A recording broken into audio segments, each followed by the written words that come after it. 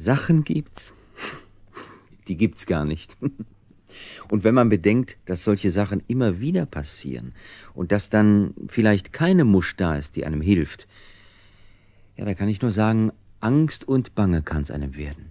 Ja. Komisch. Die Menschen haben doch Nasen. Aber riechen können sie anscheinend nicht damit. Vielleicht haben sie sie nur, damit sie ab und zu in ihre Taschentücher trompeten können. Seltsam. Bitte, Musch, rede leiser, wenn du schon reden musst. Ich arbeite. Ja.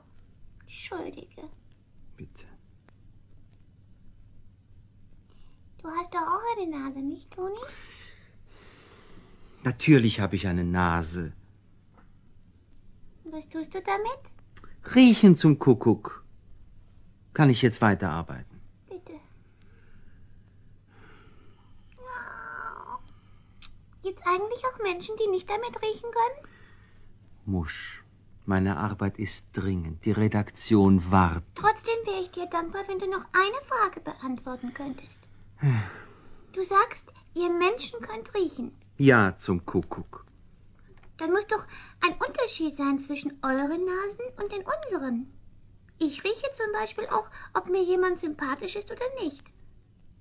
Vorhin zum Beispiel bin ich einem Menschen begegnet, den ich nicht riechen konnte. Ja und? Ich wäre nie mit diesem Menschen in seine Wohnung gegangen. Das verlangt ja auch niemand. Die Gisela ist aber mit diesem Menschen gegangen. Ach, na, hör mal, die Gisela, Gisela. Gisela kann sich ihre Freunde schließlich nicht mit deiner Nase aussuchen. Ich war aber kein Freund. Woher willst du das wissen? Redet dein Freund vielleicht so? Hallo, du da. Komm mal her. Ich? Ja, was ist denn? Du hast doch ein Fahrrad, nicht? Ja. Aha, dann hab ich dich ja schon. Dann geh jetzt mal schön mit mir. Ja, ja, warum denn? Ja, weil du, weil du mich gestern Abend mit deinem Fahrrad angefahren hast. Da hast du meinen Mantel kaputt gerissen. Ich war gestern ja überhaupt nicht fort mit dem Rad. Ich erinnere mich aber ganz genau, dass du es warst. Und jetzt gehst du mit zur Polizei. Also ich kann beweisen, dass Dann ich... kannst du es ja auf der Polizei beweisen. Los, komm mit! Lassen Sie mich bloß! Also wenn du dich so wehrst, dann, dann beweist du nur, dass du ein schlechtes Gewissen hast. Ich habe aber kein schlechtes Gewissen. Dann kannst du doch mit zur Polizei gehen. Ja. Da ist sie mitgegangen, die Gisela. Ohne ihrer Mutter Bescheid zu geben? Na, wenn sie eine Nase gehabt hätte wie ich, wäre sie nicht mitgegangen.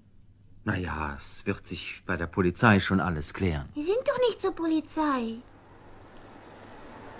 So, jetzt müssen wir einen kleinen Umweg machen. Wir müssen zuerst zu mir nach Hause und den Mantel holen. Wenn ich Ihnen doch sage, dass ich den nicht kaputt gemacht habe. Gestern Abend war ich nämlich bei meiner Freundin. Die Polizei kann sich ja bei ihr erkundigen. Die glauben doch deiner Freundin und dir nicht. Und wenn ich noch sage, dass du sogar noch Fahrerflucht begangen hast. Mantel zerrissen und dann einfach auf und davon. Ja, wo gehen Sie denn jetzt hin? Da gehe ich nicht mit. Du wirst ganz schön mitgehen, verstanden? Mit in meine Wohnung. Und die Gisela hat nicht versucht, davonzulaufen? Es ging noch nicht. Der Mann hat sie festgehalten, durch die Tür geschoben und sie mir von meiner Nase zugeknallt. Hab dann vor der Tür gewartet. Aber sie sind nicht mehr herausgekommen. Hm. Wie lange ist denn das her? Nach, schätze, nach menschlicher Zeit äh, eine Stunde? Naja, vielleicht sind sie inzwischen zur Polizei gegangen. Ach, außerdem, was geht mich das an? Du siehst doch, ich muss jetzt arbeiten. Toni? Du, ich habe eine Idee. So, Du kannst doch mit diesem schwarzen Kasten da mit allen Leuten reden. mit dem Telefon. Kannst du nicht auch mit der Polizei reden und fragen, ob die Gisela hingekommen ist? Ob die Gisela. Ja, anrufen kann ich ja mal. Ja. Aber wenn sich rausstellt, dass alles in Ordnung ist, Musch, dann lässt du mich weiter arbeiten. Ja. Na gut. Äh. M, N, O, P. Polizei. Zwei, vier, sieben. Ja. Fünf.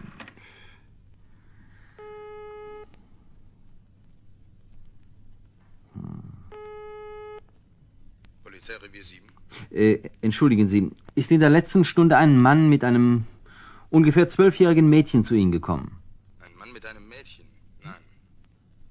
Ja, Oder war der Mann alleine da und hat Anzeige erstattet wegen eines Mantels, den ein Mädchen zerrissen hat? Nein, nicht sehr gleich.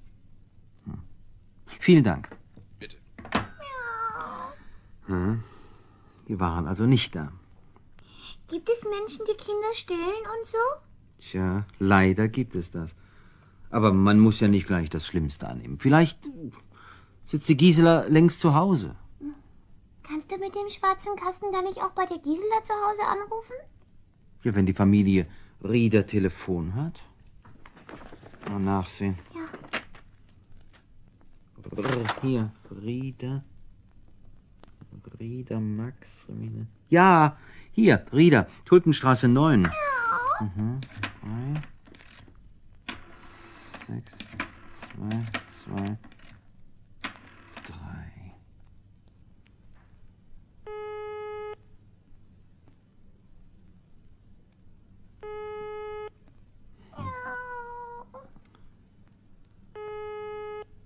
ist niemand zu Hause. Hm. Du, Musch, die Gisela kann ja inzwischen auch zu einer Freundin gegangen sein. Oder sonst wohin. Und wenn nicht? Du, ich mach mich nicht gern mit meiner Einmischerei lächerlich. Und es stellt sich dann alles äh, als ganz harmlos raus. Gisela hat bloß eine Freundin und das ist die Karin vom zweiten Stock. Also gut.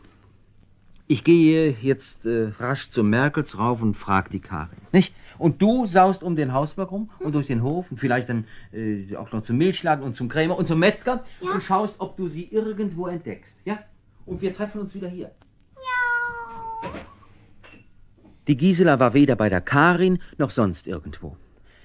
Jetzt schien mir die Sache doch unheimlich. Da gab es nur eines, die Musch musste mir das Haus zeigen, in dem der Mann mit dem Mädchen verschwunden war.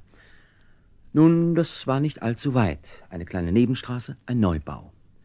Kurz bevor wir da waren, kam uns ein Mann entgegen, ein noch verhältnismäßig junger Mann. Ich hätte ihn weiter gar nicht beachtet, wäre die Musch nicht dabei gewesen. Sie duckte sich, fauchte und sprang mit einem Satz auf den Mann los. Oh, so eine tollwütige Katze. Gehst du weg? Geh weg, du Biest! Musch, Musch! Was machst du denn? Sagen Sie mal, gehört Ihnen das Vieh? Das ist ja allerhand. Ich bin total zerkratzt. Schauen Sie sich das mal an hier, an beiden Händen. An beiden? Ja, Sie bluten doch bloß an der einen. Die Kratzer an der anderen Hand, die sind doch nicht mehr frisch. die an der anderen Hand, die sind auch von der Katze. Das war vor einer Stunde nämlich. Von dem gleichen Drecksvieh. So, vor einer Stunde. Ja, das kann stimmen. Da habe ich Sie beobachtet, wie Sie ein Mädchen angehalten haben. Wo ist das Mädchen? Wieso? Welches Mädchen denn? Da vorne sind Sie in ein Haus mit ihm verschwunden. So, dann suchen Sie es doch da, wenn Sie es so genau wissen. Halt! Halt! Den Mann aufhalten! Aufhalten! Niemand hielt den Mann auf. Er hatte mir offensichtlich einiges an Ortskenntnis voraus. Er rannte um die Ecke, dann in einen Hof, ich immer hinterdrein, sprang über eine niedrige Mauer und verschwand in einem Hauseingang und war wie vom Erdboden verschwunden. Na, ich stand mit ziemlich dummem Gesicht da. Und jetzt erst fiel mir auf, dass die Musch weit und breit nicht mehr zu sehen war. Dann rannte ich zu dem Haus, das sie mir beschrieben hatte.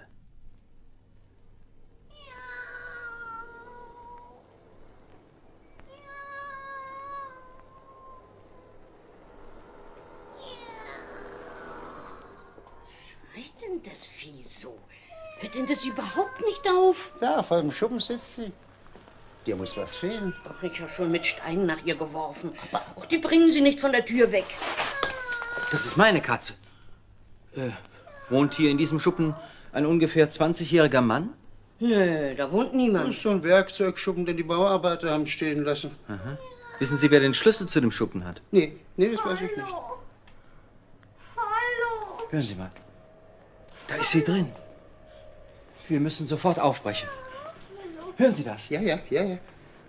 Hallo. Brechen wir auf. Hm? Brechen wir auf. Wenn wir uns zu zweit gegen die Tür werfen, kracht die ein. Gisela? Ja, bist du's? Keine Angst, wir sind da. Also, los, dagegen. Eins, Eins, zwei, drei. Da, du Mädchen. Gisela, Oh, was ist denn? Fehlt dir was? mein Gott. Kannst du aufstehen? Die Polizei. Ich hol die Polizei. Gisela, kannst du aufstehen? Ja. Hm, Ganz ruhig. Jetzt erzähl mal. Was war denn los? Ich weiß nicht mehr genau. Also, ich wollte nicht mitkommen, aber da hat er mich reingezerrt. Hm. Ich habe mich gewehrt und da habe ich was über den Kopf gekriegt. Hm? Ich bin gerade eben erst aufgewacht. Oh mein Kopf. Wahrscheinlich eine Gehirnerschütterung. Sie hat ja hat ja eine dicke Beule am Kopf. Mir ist dieser Kerl entwischt, Was für ein Kerl. Der das auf dem Gewissen hat. Die Polizei ist schon da. So was. Wie hat denn das bloß passieren können? Ich habe alles zu Protokoll gegeben und bin anschließend mit Gisela zum Arzt gefahren. Na, es war Gottlob nicht so schlimm. Platzwunde und ja, kleine Gehirnerschütterung. Aber bald konnte ich sie wieder nach Hause bringen. Ich brauche euch nicht so schildern, wie ihre Mutter, die inzwischen heimgekommen war, erschrocken ist. Und wie froh sie dann war, dass noch einmal alles gut abgelaufen ist.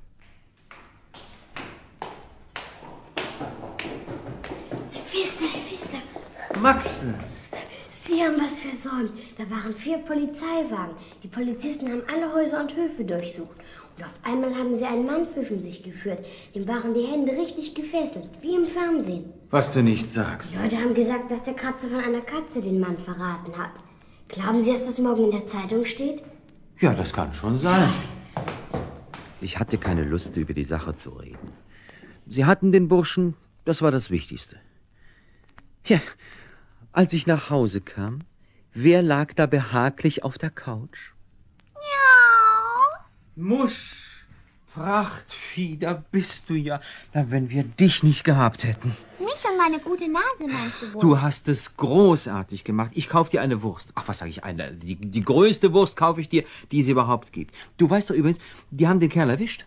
Wer die? Die Polizei. Ach, dann sind die Polizisten ja Menschen, die auch gute Nasen haben. Ja.